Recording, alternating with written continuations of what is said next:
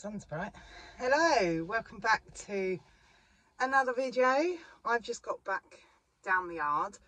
Um, it's only about 10 o'clock, but it's been a busy, productive morning already. So I come down here early, fed the ponies and gave them their hay, but it was too frosty to turn them out. I don't like turning them out on frosty ground because I'm always worried about um, the chance of laminitis or anything. So then the farmer come, he's brought in some more hay and straw, so that is all sorted. But then I had to run off, do a friend's yard. So I've mucked out four ponies already at a friend's yard. Um, and then whilst I was at that area, I went to the tack shop to get more horse food, but I also bought some bits ready for the upcoming horse shows. So I'll show you them bits in a minute, what I got. What I didn't do though was write a list. Um, I should have gone through all my show stuff, wrote down what needed replacing, what I needed to get. So um, I must do that another day because I bought a few bits, but I don't think it's everything that we need for the show season. So yeah, I'll show you what I bought in a bit. But yeah, I'm just back down the yard again. I'm now going to turn this lot out and muck them out. It's still a little bit frosty, but it's definitely better than it was this morning. But yeah, the yard is in a complete mess where I just done the bare minimum this morning and run off to do other things. So yeah, let's get on with today. As I say, the yard is an absolute pigsty. But yeah, we're going to tidy it all up. And is in. Um, this is a shed the kids have extended for their stuff. Has anyone else got anything like this? This is the wheelbarrow graveyard. Every single wheelbarrow here has some sort of problem, but they uh, won't let me get rid of them. They say that they're going to take bits off of one barrow to fix another but it just never seems to happen. So yes I've got my wheelbarrow graveyard. There's Donny hey what are you doing? Yeah so yard is a mess. All needs tidying up. But yeah where they've uh, redone this shed if anyone remembers back in the day the uh, roof was never straight. It was hanging out and where it was so low when you rode round in the school you run the risk of hitting your head on the roof so we just built this bit blocked it in so no one could hit their head. But yeah that's falling down now. Um, but they fixed the roof so this is coming down so we can have the school back again. Fez is already here for breakfast. So he's had his breakfast. Yeah. Now time I'm going to get these ponies out.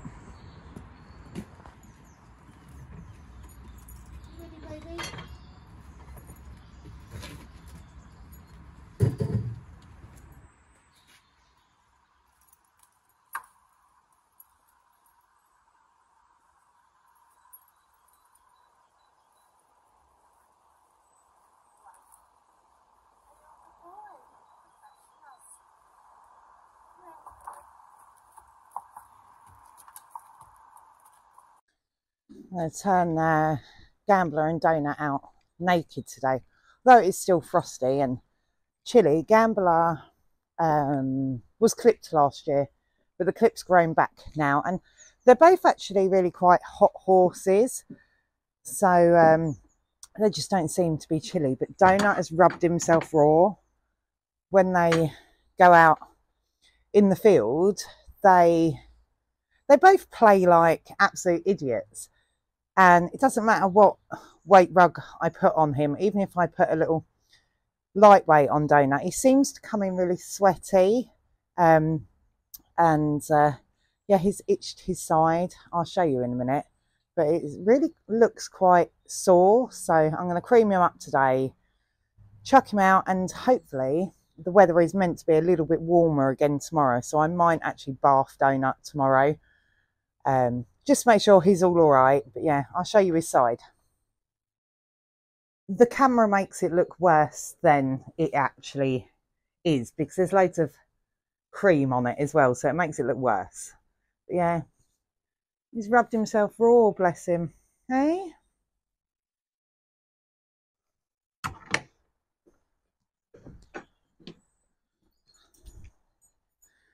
So I've put more cream on his side. It's only that one area. Uh, excuse me. Um, but yeah, I'll just turn him out naked now for the time being, just so he doesn't get hot and sweaty. And hope that's the issue. If not, I'll call the vet out to check him over. But yeah, when I bring him in this afternoon, I'll clean it all and cream it all yet again. Hey, you in the wars? Are you in the wars? Come on, let's get you out. Come on.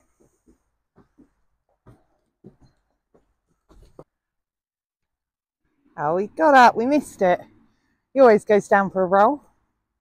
But yeah, that's all ponies out now. These two having a cuddle.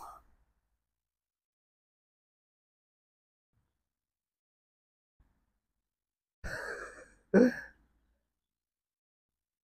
now it's time to start mucking out. Is he having a mad moment?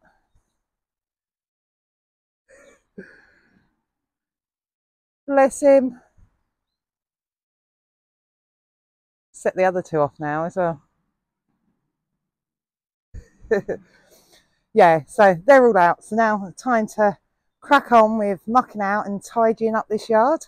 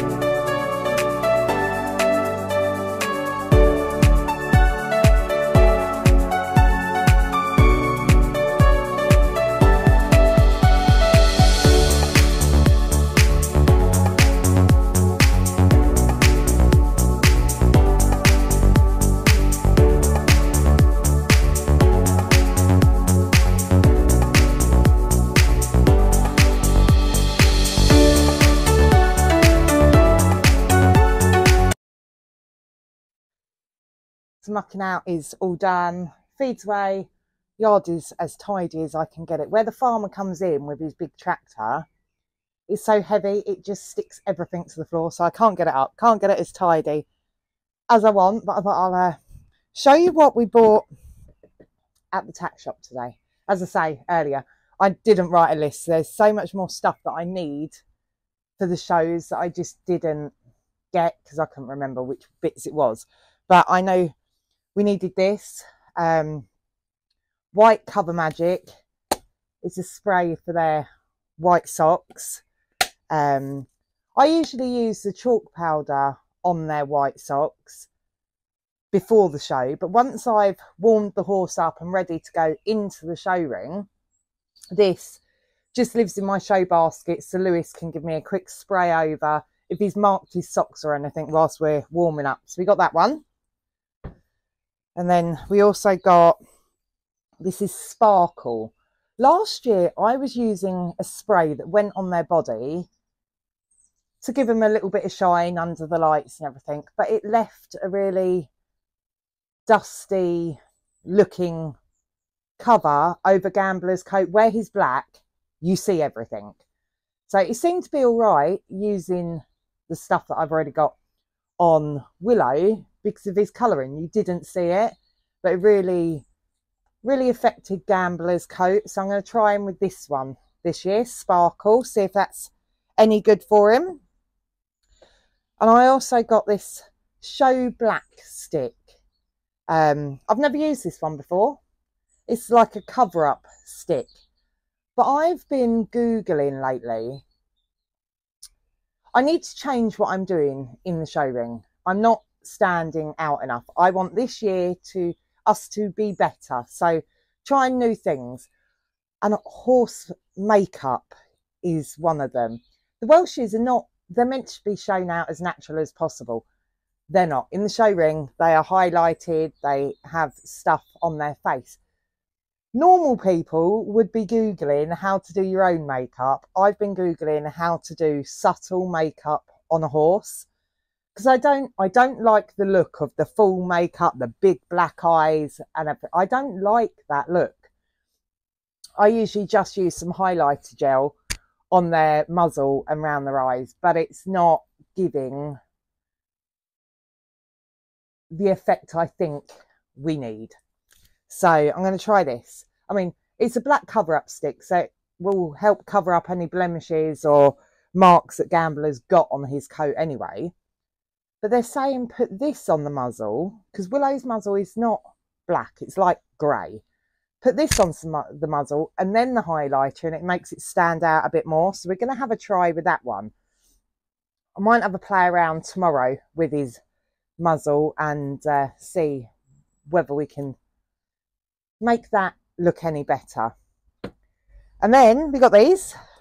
I never spend money on myself. If I've got anything that's of a named brand, it was in a sale or reduced for some reason because I just can't bring myself to spend money on me. Horses, different thing. This, £21 that cost. And I'm not fussed on spending that much, but on me, it's a different story. So there was these Hunter boots. They haven't got a box, but they were reduced down to £40. So I thought, well, a bargain, we get them because I do still muck out and everything in my riding boots. And that is what is ruining them so quickly. Again, these riding boots were reduced. Um, but still, I want to keep them nice for when I nice to put on when I do ride the horses and have something else for mucking out. So yeah, we've got a pair of hunters. And then these were the cutest thing I have ever, ever seen. Again, these were reduced. £20, but they are so cute. They're tiny hunters. I thought they were adorable. So they're for the eldest grandson. They didn't have any reduced in Lewis's size or anything, but I thought, yeah, it's going to match Nanny when he comes down to the yard. But they were, they are, I think they are the cutest thing I've ever seen in my life.